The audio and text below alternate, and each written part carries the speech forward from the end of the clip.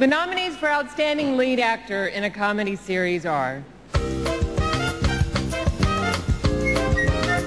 Jason Bateman, Arrested Development. Zach Braff, Scrubs. Eric McCormack, Will and Grace. Ray Romano, Everybody Loves Raymond. Tony Shalhoub, Monk. And the Emmy goes to Tony Shalhoub. This is Tony Shalhoub's third consecutive Emmy nomination and his second win for the title role performance on Monk.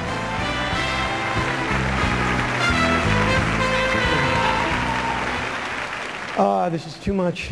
um, thanks to the Television Academy and uh, to my fellow nominees, whoever they are. I'm not really that familiar with their work.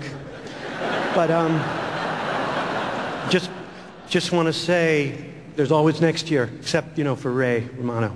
Uh, anyway, um, anyway, um, everybody at NBC Universal, from Jeff Zucker on down, everybody at USA, uh, Jeff Wachtel, who always brings that perfect combination of, of uh, leadership and heart and good taste and collaborative spirit and, and uh, the cast in, a, in, a, in, a, in the hardest working best natured crew in all of uh, in all of Hollywood, and Andy Breckman and Tom Scharpling and all the writers in Summit, New Jersey, and my favorite person in the universe, my wife Brooke. Thank you.